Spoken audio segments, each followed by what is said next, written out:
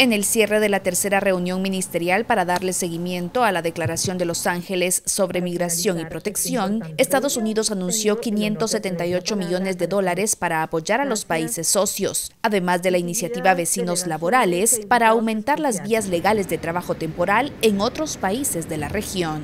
Labor Neighbors va a apoyar a países con necesidades de mano de obra para establecer sistemas de visas laborales y hacer coincidir las competencias de los trabajadores con las carencias de mano de obra. Las oficinas de movilidad segura en Guatemala ampliarán la elegibilidad de beneficiarios para hondureños, salvadoreños y nicaragüenses, mientras Costa Rica ampliará para ecuatorianos. Además, Estados Unidos reafirmó su compromiso para perseguir a los traficantes de migrantes y firmó un acuerdo con Costa Rica para intercambiar datos biométricos y fortalecer la aplicación de leyes fronterizas todos los líderes de, del hemisferio ahora estamos trabajando conjuntamente en un espíritu de responsabilidad compartida. La canciller mexicana anunció el fortalecimiento de su frontera con Guatemala.